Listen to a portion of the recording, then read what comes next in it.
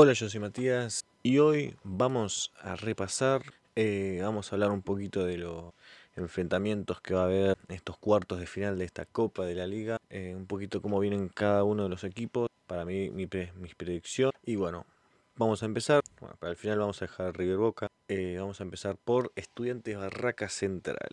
Vamos a ver cómo viene el pincha y cómo viene Barracas. Bueno, la verdad que Estudiantes La Plata viene muy bien. Viene de varias victorias consecutivas. eh, tres de la Copa de la Liga consecutivamente, ¿no? Le ganó a Central Córdoba. De Stronger por eh, Libertadores. Le ganó Boca y le ganó a Lanús. Empató con Huachipato. Y la última derrota de Estudiantes fue contra Defensa y Justicia. Así que viene muy bien y le tengo mucha fe a este equipo de La Plata. Ahora vamos a hablar de Barracas. Barracas también viene bien. Hace varios partidos no pierde. Jugó Copa Argentina, clasificó. eh, empató allá en la paternal. La última vez que perdió fue la fecha 10 frente a Gimnasia de visitante. Pero sorprende mucho Barracas porque perdió tan solo dos partidos. Fue perdió local con River, fecha 2 y la fecha 10 nomás. Así que ojo con Barracas porque está, está picante. Está picante el camionero. Así que bueno, vamos a analizar. eh, bueno, Barracas terminó tercero, 26 puntos. Estudiante segundo con 27. A mí la verdad que me gusta más el equipo de Estudiantes de La Plata, pero la verdad que Barracas sorprende muchísimo la muy buena campaña que hizo. Juega muy bien, tiene muy buen contragolpe. Eh, lo que tiene Barracas es que es un equipo muy directo y eso le, le benefició en esta Copa de la Liga. Y después Estudiantes tiene un equipazo. Y Carrillo está en, creo que en su mejor momento de la vuelta de Estudiantes, para mí. También tiene a Javier Correa, que es un muy buen delantero, tiene un muy... Sosa, tiene no... Es impresionante el equipazo que tiene Estudiantes de La Plata. Así que bueno, para mí en este duelo yo le apuesto a Estudiantes de La Plata. Pero Barracas tiene lo suyo. Y me está haciendo dudar, la verdad. Pero, pero me apuesto por Estudiantes. Estudiantes para mí clasifica a la semifinal. Pero bueno, muy buena campaña de Barracas. Hasta acá. Ojo puede dar un batacazo acá impresionante. Pero bueno, para mí Estudiantes semifinales. Vamos con el siguiente encuentro que es Gold de Cruz. El mejor del torneo para mí. Y Vélez. Bueno, Vélez entró raspando. Literalmente raspando. Decir que Independiente y Talleres ninguno ganó. Y Vélez en silencio se metió a los mejores ocho de, de esta competencia. Un Vélez que, que fue como que, o sea, fue bastante pareja, eh, eh, parejo este, esta zona A. Pero nada, Vélez hizo una muy buena, entre todo, buena campaña. Quizás el partido que fue escandaloso para Vélez y doloroso fue la visita a River, el 5 a 0. Después perdió con Independiente de local, 1 a 0. Y perdió con Talleres de visitante, 1 a 0. Después fueron varias victorias, algún que... Y ahora vamos a ver el Tom. La verdad que la, la campaña de Godoy Cruz, inmejorable. Lo único la- lamentable de Godoy Cruz es que no pudo entrar ni una Copa Internacional. eh, pero nada, el comienzo fue increíble. Ganó de las primeras seis fechas. No, las primeras siete fechas. Ganó seis y empató uno y no tuvo ni un gol en contra. O sea, impresionante.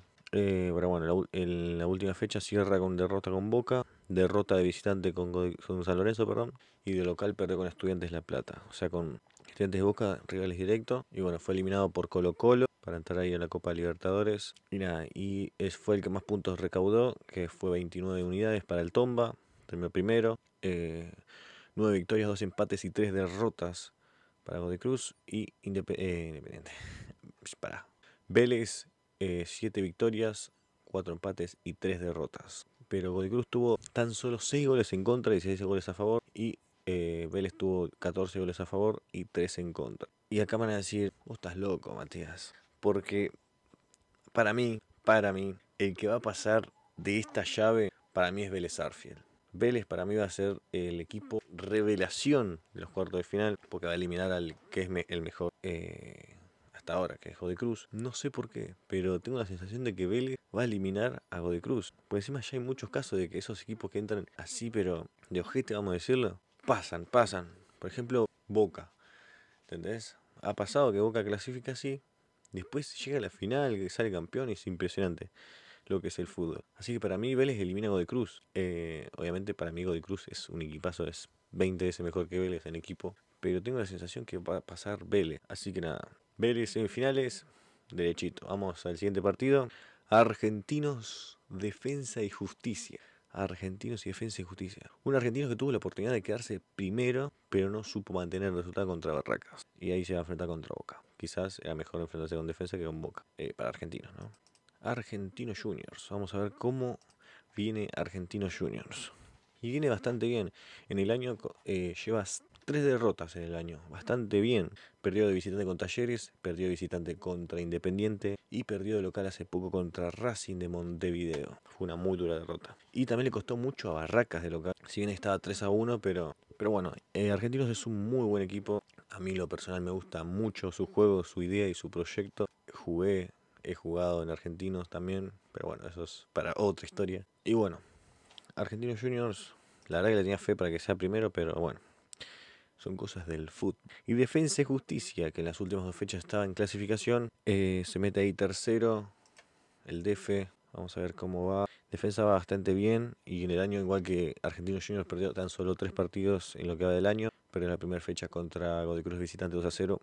Después una muy dura, durísima derrota contra Lanús 4 a 0 y otra muy dura derrota por Copa Argentina 2 a 1 con Rafaela, madre mía. Y, nada, y después le empezó a levantar defensa.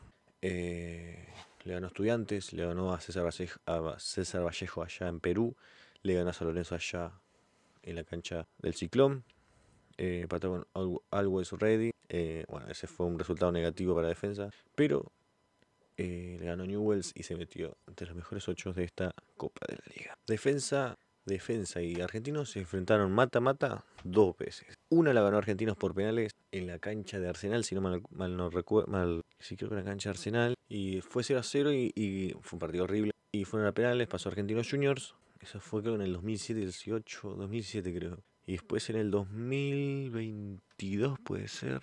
En el 2022 Defensa elimina a Argentinos 1 a 0, gol de Kevin Gutiérrez. Creo que en la cancha de gimnasia. Y esos son los dos enfrentamientos mata-mata que tuvieron Argentinos y Defensa. Eh, uno y uno, uno para cada lado. Pero para mí, le dieron una ficha eh, a defensa de que va a pasar a semifinales. Para mí. Eh, si bien Argentinos de mitad para arriba es muy peligroso.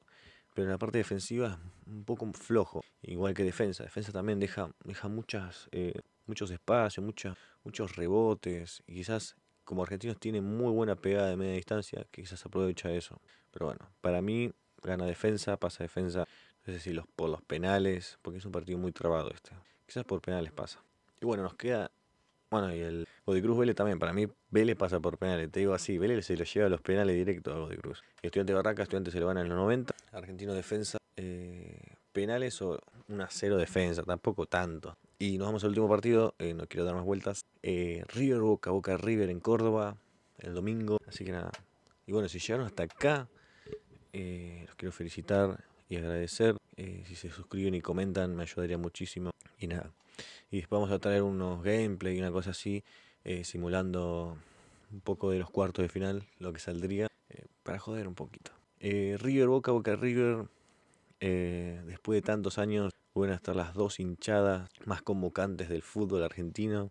Y bueno, un River que viene con muchas dudas, muchas críticas, con un De Michelis cuestionado pero vamos a ver un poquito los últimos partidos de River. River tan solo perdió un partido en el año. O sea, muy buenos números para mí. Eh, y hay muchas vallas invictas. Eh, por ahora River está teniendo un año muy bueno. Pero De Michele sigue siendo criticado. Pero los resultados se le están dando todavía. El único partido que perdió fue contra Huracán. Fecha 12, eh, visitante. Después, cuatro partidos consecutivos ganó. Le ganó a Táchira, Rosario Central, a Nacional y a Instituto. Con Boca en la fecha 7 se enfrentaron, 1 a 1 terminó. Y para mí este partido, ¿qué querés? Para mí este partido empatan y a penales. Y para mí le tiene una ficha a que va a pasar Boca Juniors. Boca Juniors. Eh, ah, ¿cómo viene Boca? Nos estamos olvidando cómo viene Boca. Me, anticipé. Bueno, Boca Juniors perdió tan solo 3 partidos en lo que va del año contra Lanús de visitante 2 a 1, en la visita contra Unión 1 a 0 y en la visita contra Estudiantes hace poquito 1 a 0 también. Entre todo son buenos resultados. Boca, por lo que veo este año, es eh, no empata mucho. No empata mucho. Sacando el Nacional de Potosí que empató 0 a 0, empató con River en la fecha 7, empató con Defensa, empató con Sarmiento, empató con Platense. O sea, no es un equipo de muy empate, ¿viste? Eh, pero este es un partido muy trabado. O termina 1 a 0 a favor de Boca o van a penales. Pero a mí pasa Boca. Y mis semifinales quedarían. Igual no voy a hacer la predicción de semifinales a final. O sí, no sé. No, no, no. Hago mis predicciones en el cuarto. Y bueno, veo, si le pego alguno o no. River Boca pasa Boca. Estudiantes Barraca pasa Estudiante. Godoy Cruz Vélez pasa Vélez. Argentinos Defensa pasa Defensa. Mis semifinales quedarán Boca Estudiantes, Vélez Defensa y vamos a ver cuánto le pegamos o no. Así que con esto nos despedimos y nos vemos en la próxima. Chau, chau.